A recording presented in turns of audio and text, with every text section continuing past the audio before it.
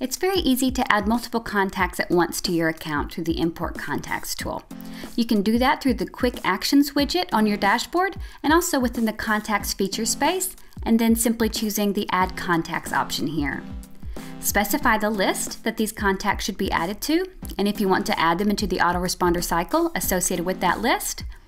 And then in this example, we're going to show about importing contacts, which is where you'll upload a file, connect a service that you may have, or paste from a file. And so we can simply upload a file by dragging and dropping the correct file type that you can see specified here, and we see that we're ready for upload. Next, specify what we should do with the information, whether that's adding and updating contact information, adding only new, or updating some existing contacts.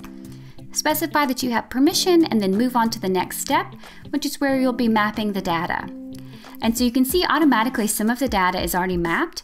It always recognizes an email address. And if on your file you actually gave the columns names, if there was actually, you know, the first row within each column had a name, you know, you named the row, I should say, just like this, then we can automatically map that data as well.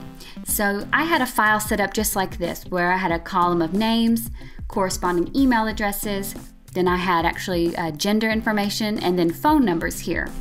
So because I had column names on my file, GetResponse automatically mapped the name for me, the email address, and it also recognized that I, I already have a custom field created in my account called gender.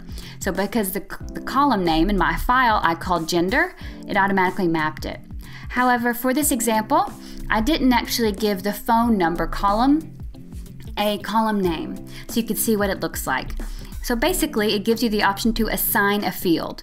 Or if you actually don't even need this information, it was just on your file, you could skip it and not actually import it. If you don't already have an applicable custom field available for this particular data, then you could uh, create a new custom field. Or if you already actually have uh, something that would uh, work and that you already have a custom field created for this type of information, for example, I have a custom field called mobile phone, you could apply it there as well. So now all of my data is mapped and I can simply choose import. And now you've got some information that we are importing your contacts and we will let you know whenever the import is finished and it will just take a few moments. So you can close that and then we can see that actually this was quite quick because there was only four contacts here and they're actually already located in this list. They were just being updated. But you'll be able to see here within import statistics all of your imports, which lists they were added to, all the information about the list uh, data, and also the status of the import as well. This is where you're automatically brought to once your import is finished, so you'll be able to keep an eye on the status as well. And it's as easy as that to simply import your contacts and get a lot of those good contacts into a particular list that you want.